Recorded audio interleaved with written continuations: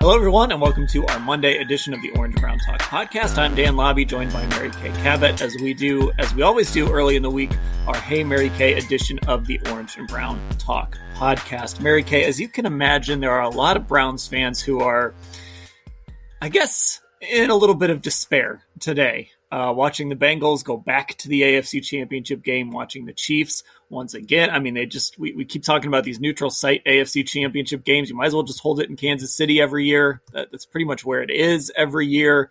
Um, you know, we all saw kind of how the Ravens fought against Cincinnati. We got a few questions with this theme, so I think there's a lot of places we can go with this.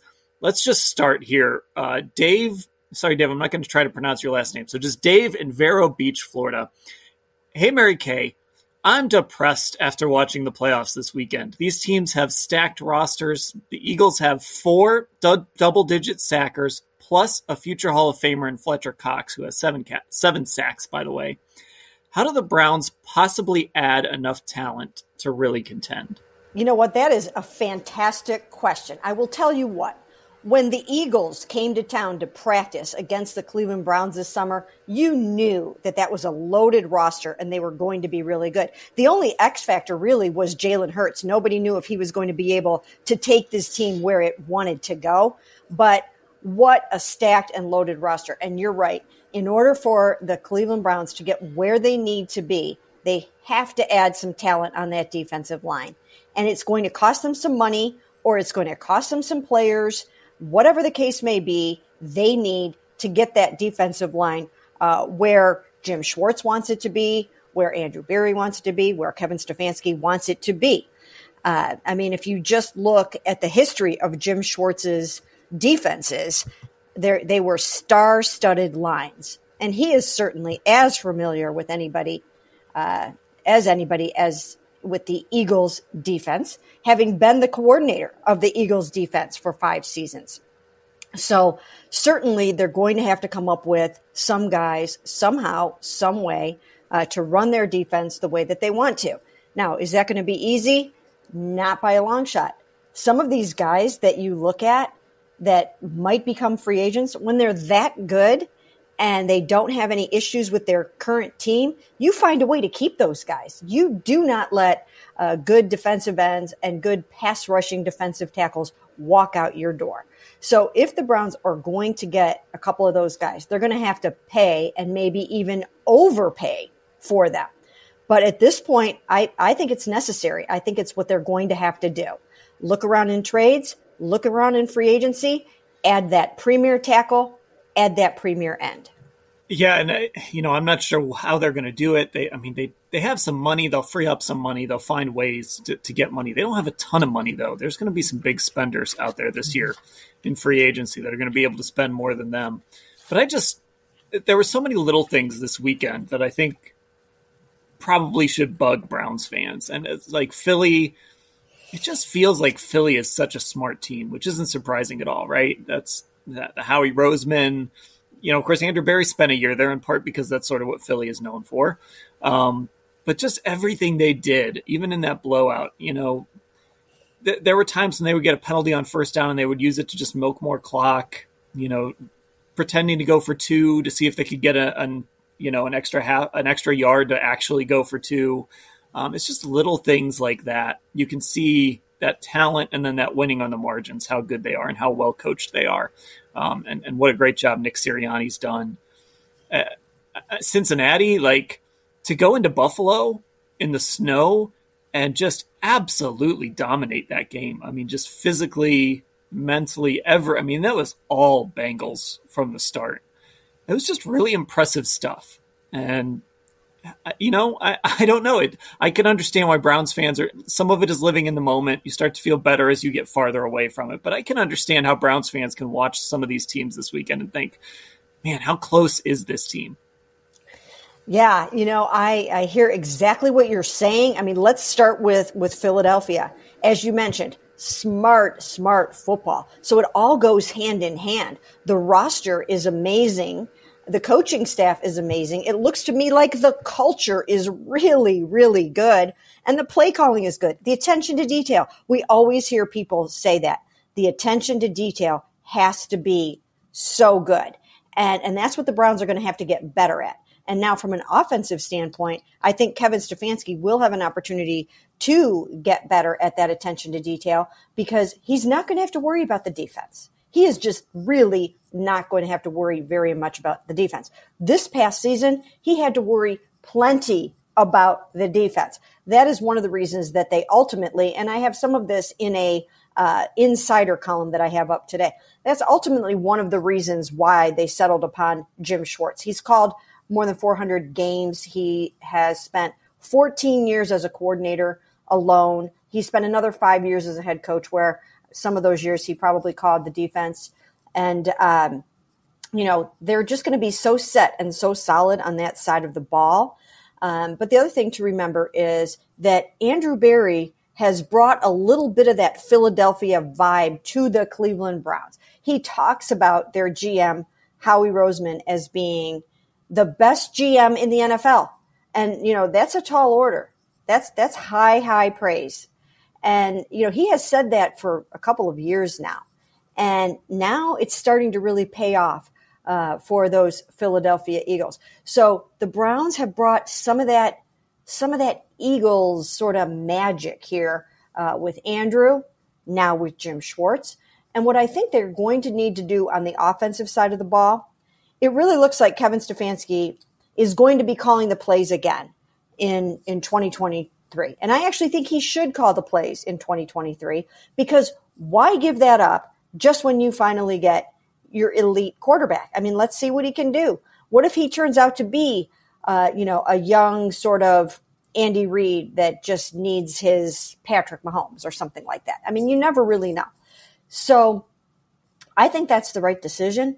But Dan, when you talk about some of those little super smart things that you see happening on the football field, uh, you know, trying to get an extra yard to go for two and whatnot, I think that's where they need to do better in Cleveland. That's where Kevin Stefanski needs, needs to do better. And so they need to increase the game management, the clock management aspect of things. Calling plays is one thing. Managing the clock in the heat of the moment is another thing. And if they need to either upgrade or have better communication or whatever they need to do, they need to play smarter football. Smarter football in the heat of the moment. At the end of the first half, at the end of the game, in those little situations that mean so much to the outcome of a game. So, however they're doing it now, I think they need to go back and reevaluate it and figure out uh, if they need to hire someone else to be the brilliant, you know, game management, clock management person, or whatever the case may be. I mean, I know they have someone uh, upstairs that works on that now, but just that whole process, I think, uh, needs to get better, especially on the offensive side of the ball. And then on the defensive side of the ball, I think you're going to see adjustments happen this year that did not happen last year. They didn't happen. And that can't, that cannot be anymore. So, you know, Jim Schwartz has all of that institutional knowledge about all of those games that he's called. And if an adjustment needs to be made, he's going to make it. Yeah, and I, I, think the good news for Browns fans, kind of in, in, regards to that stuff, is Kevin Stefanski is closer you know, in mindset and action too. He's closer to Nick Sirianni than he is like Mike McCarthy. You know, mm-hmm. like you you don't have to. Kevin thinks analytically and he he thinks about this stuff and you know we see him uh, how he you know his fourth down decision making we do see some of his his clock management has for the most part been good it could improve and i think we saw that this year that there were times when it could have been better but um, he's at least on the right path I wouldn't put him quite in the same class as Nick Sirianni. But to be fair, I don't think anybody would have would have said that even a year ago. I, I think they probably would have said, "Oh yeah, these two guys are pretty similar." So um, it, this can change year to year. But I think right now, like on you know Monday, the day after the divisional round, I, I would have Sirianni probably in a class above Stefanski. But I think Kevin is closer to that than he is to not being that. Yeah, and he knows, uh, you know, each year he knows he has to get better at things.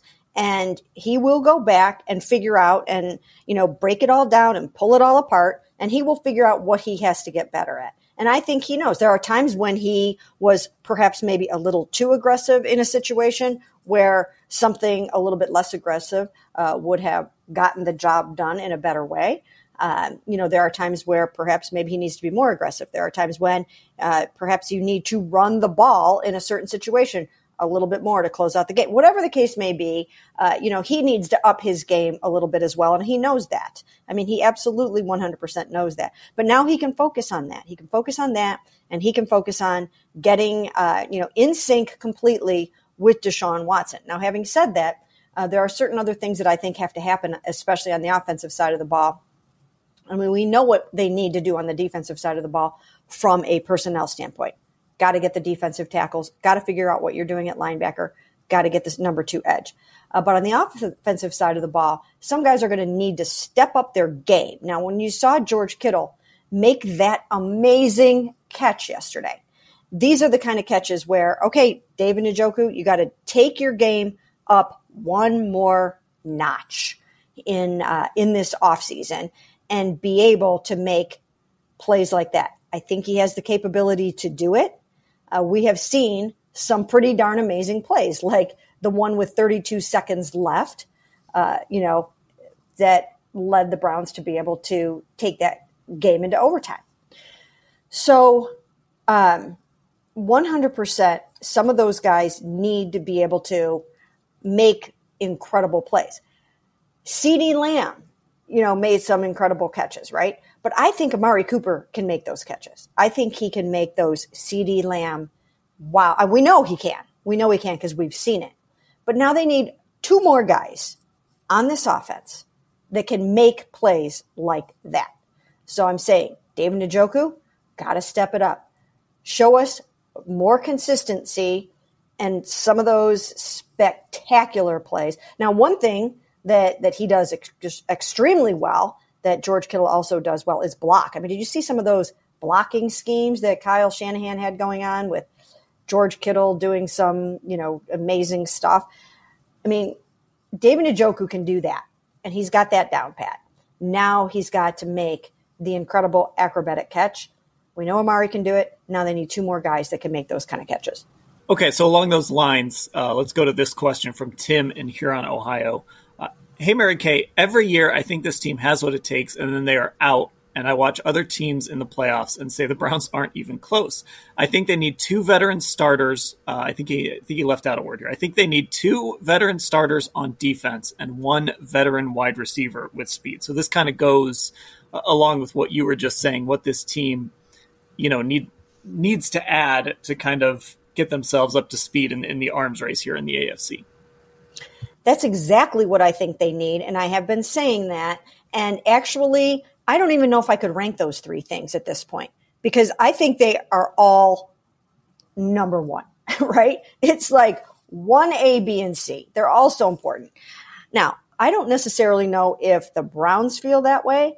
They might not feel that way. They might feel like with what they have, maybe they don't know need to go out and trade for an amazing wide receiver or find that wide receiver with speed that I think they really need to have. I don't know if they feel that way or not.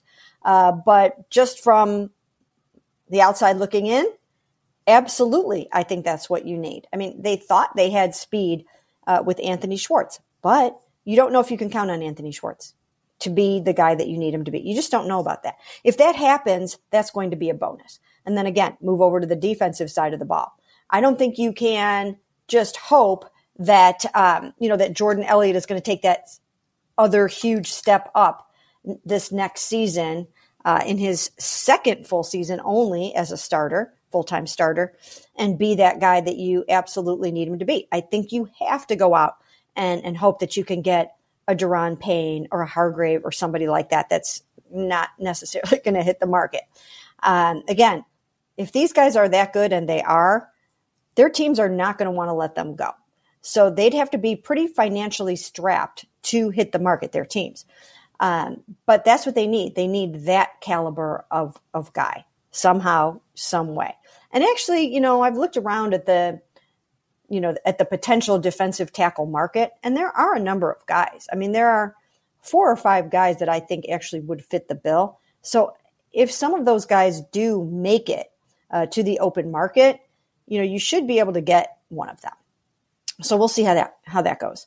from a, a number two edge standpoint, once again, I don't think that you can count on Alex Wright just making that huge leap and becoming that guy for you. I think you need eight, nine sacks from at least from your number two guy. And in a perfect world, you would want what Jim Schwartz has had before, and that's three, maybe even four guys with, you know, big numbers in sacks. I mean, the Eagles had 70 sacks this year, 70. The Browns had less than half of that at 34, which I think was, gosh, I have it written down somewhere. It's way down. It, it was low. I looked it up last week. And also it's worth noting that even with, even with Jadeveon Clowney's stats, their pass rush was like Myles Garrett and like there's no stat where there's another Browns player even close to Myles Garrett. He had almost half their sacks this year. And and then even yeah. if you dig into pressures and you dig into other quarterback hits, um, whatever you want to look at, it was basically Myles Garrett and then nobody.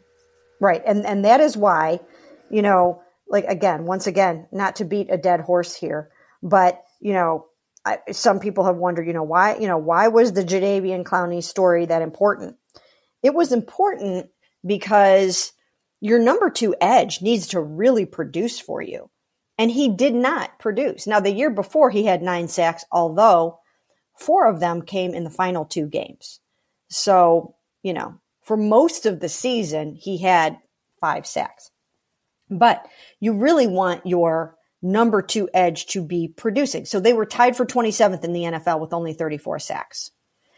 Um, yeah, that's, that's not good. And again, that's less than half of what the Eagles had, and certainly not what was expected from the Cleveland Browns. Not even close, right? Because you would have thought that you were going to get another seven, perhaps, out of Jadeveon, and that maybe you would get three or four out, of Alex Wright. He had none. Um, you know, you thought maybe you could get more out of Chase Winovich. I think they thought maybe they would get a few more out of Perrion Winfrey. Now, having said that, I'm sure that Jim Schwartz is going to look at the film and he's going to say, in my scheme, in my 4 3, we're going to get those guys some sacks. Alex Wright is not going to walk out of the 2023 season with no sacks. Not going to happen. Same thing with, um, you know, some of the other guys. So I'm sure they think that they can get way more production in his 4 3 wide nine scheme. And I'm sure they will he plans to get more out of Myles Garrett than the 16 he's had in each of the last two seasons. But I still think that they need to go out and they need to find that good number two edge, like a Yannick Ngakoue, who in the past has really wanted to come and play here. Uh, you know, someone like that. He had nine and a half sacks for the Colts last year. You need that guy, not just for the production that he brings, but for the pressure that he will take off of Myles Garrett and the way that that will help Myles Garrett be even more productive. You can't look out there all the time and have three guys hanging off of Myles Garrett. I mean, you just can't do it. So, um, so yeah, I think it's going to get better, but you know, this is a huge issue. Okay, we're going to take a break and then we've got some more questions kind of along these lines. Just so everyone knows, we're going to do, again, a two parter of Hey Mary Kay this week. Uh, we won't hopefully have to wait until Friday to put up part two. Uh, but we got a, a, good amount of questions. We're going to do a two parter. So if you're one of our text subscribers and, and, you're like, oh no, I forgot to get my question, and there's still time. Uh, I'm gonna I'll check in again tomorrow, and I've got some other questions to get to. But we're going to stay on this topic uh, when we come back after the break. DraftKings Sportsbook, an official sports betting partner of the NFL, is officially live. Now you can legally bet on all your favorite sports anytime and anywhere right here in Ohio with DraftKings. For a limited time, new customers who sign up with promo code OBTALK and bet $5 or more will receive $200 in bonus bets instantly. DraftKings has the best features, including same game parlays, player props, and more, with fast and easy payouts right at your fingertips. Download the DraftKings Sportsbook app now. New customers can use promo code OBTALK to get $200 in bonus bets instantly when you place a $5 bet on anything. Only at DraftKings Sportsbook with the code OBTALK. Gambling problem? Call 1-800-GAMBLER 21 plus, physically present in Ohio. Valid one offer per first-time depositors who have not already redeemed $200 in free bets via pre-launch offer. Minimum $5 deposit and wager, $200 issued as bonus bets. Eligibility restrictions apply. See dkng.co slash OH for terms. And welcome back to the Orange and Brown Talk podcast, the Hey Mary Kay edition of the podcast. Uh, Mary Kay, let's continue here with uh, some of these questions about the playoffs. We're going to kind of make this a little more positive now. Um, this comes from Anthony in Columbus. Hey, Mary Kay. Aside from the quarterback position, what evidence do you have for a significant improvement over this year? What gives you hope? Well, we talked a little bit about it uh, just in the previous segment, and that is the fact that I do think that Jim Schwartz should be able to bring out the best in some of these young guys. Uh, the defense need needs a firmer hand, needs more discipline, needs new energy, uh, needs more experience at the defensive coordinator position, and quite frankly, some of the other uh, positions that you know could end up coming open on that defense. So I think if they can get more out of Myles and other guys on defense, including guys in the back end, guys at linebacker, uh, then I think you should start to see the defense that everyone expected this season, and it didn't come to fruition. I don't think you're going to have as many guys, you know, yelling at each other or you know shrugging their shoulders at each other or pop- popping off about why didn't they do this or why didn't they do that, and hinting around that adjustments needed to be made that were not made. Uh, so that is uh, the probably the number one thing. Um, and then on the offensive side of the ball, I do think they probably will make a few more upgrades. And I think that Deshaun Watson putting his head together with Kevin Stefanski and the other offensive coaches, I think they will be able to bring out uh, a little bit more in David Bell. I think that uh, I think they will bring out the best in David Njoku. Uh, so I think just the presence alone of of Deshaun should help everybody else on the offense. Now, what he's going to have to do is make sure that he's getting rid of the ball a little bit quicker, but I think he'll play faster. You know, once the scheme is more suited to him, once he looks out there and he's got more guys that he feels super comfortable with or that are open, then, you know, I think he'll play faster.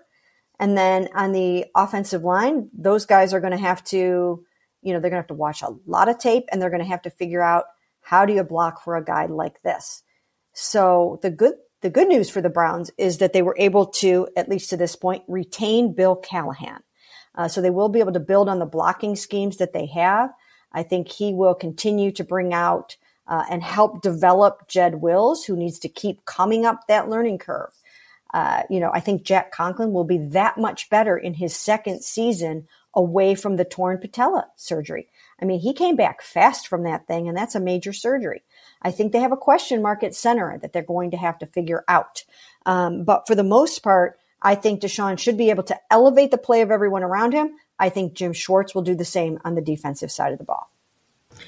Yeah, I mean, surprise. It's it kind of comes down to your two hundred thirty million dollar quarterback, mm-hmm. right? Like right. you paid this guy that much money because you think he's that good, and if he plays better than he did in in the last six games, then that that changes your outlook pretty dramatically because now you have a guy that you, you feel okay going into Kansas City or Cincinnati or Buffalo to, to give yourself a chance to win. You know, the other part of it too is, you know, we're doing these core player posts uh, that are going up on cleveland.com over the next week or so. And I did the secondary today uh, on Monday. And, you know, I only, I only listed Denzel Ward as like the core player. He's gotten the extension. He's, you know, you know, he's, he's going to be here for a while, but, the guys I put right below that, Greg Newsome, uh, Martin Emerson, Grant Delpit, I think you feel, you know, to varying degrees, I still think you feel good about those guys in the secondary. Um, and we'll see what they do with John Johnson, how he kind of fits in, in Jim Schwartz's scheme. But, you know, if even two of those young guys can kind of build on on sort of what they've shown us here in the early going, you have something going in the secondary there. You have something that, that you can you can build on in that in that back end. Yeah, I think they're still in really good shape in the secondary. What's going to need to happen in 2023 is for roles to be more defined, for guys to feel more comfortable in what they're playing and what they're doing. And Jim Schwartz has the flexibility to play plenty of man. He's got the flexibility to play plenty of zone. So whatever he chooses to do, uh, you know, they're going to be able to to do it because he's he's got that body of knowledge. And so some of it might be adapting that secondary philosophy to the talent that you have. And there's there are some decisions that will have to be made. Will Greg Newsome continue to be your your nickel corner, or will you try to get him back on the outside a little bit more so that he can feel really good about what he's doing out there. I think that's one of the keys is I think that if I were Jim Schwartz, and I'm sure he will do this anyways, he doesn't need my advice, but, uh, you know, I would really sit down with each one of these guys and hear what they have to say. I would hear them out because, you know, happy players will run through a wall for you. And there were a lot of unhappy players last season that just really weren't too sure what their role was, how they fit into the scheme of things. And I, I think that's, that's got to change. You at least have to hear them out and help them understand and explain. If what they're going to be doing isn't exactly what they want to do, why does it make so much sense for them to be doing what you're going to have them doing? Right. So if it doesn't turn out that Greg Newsome gets to be playing more on the outside and more man coverage or whatever the case may be, uh, you know, he has to understand why it's not going to go like that. Uh, and he has to feel good about it. He has to be part of the decision and take ownership. Um, but I think there's there's are plenty of things to be excited about in the secondary. I mean, AJ AJ Green is really good too, right? I mean, Greedy Williams is going to be gone, as you mentioned. Um, you know, we not we're not sure what's going to happen with, with JJ three quite yet.